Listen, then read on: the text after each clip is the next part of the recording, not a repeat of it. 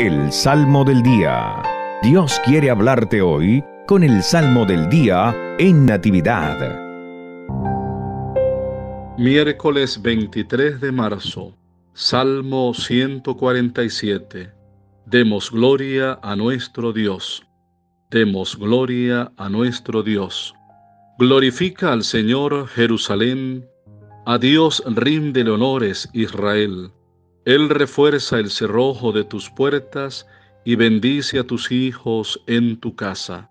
Demos gloria a nuestro Dios. Él mantiene la paz en tus fronteras. Con su trigo mejor sacia tu hambre.